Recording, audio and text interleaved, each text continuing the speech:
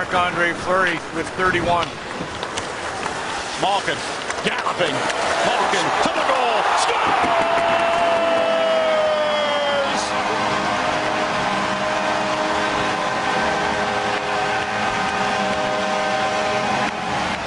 Didn't we see this uh, in the first Stanley Cup run against the Minnesota North Stars?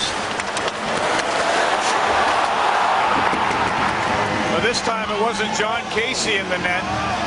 It was Dwayne Roloson. It is so Mario-like.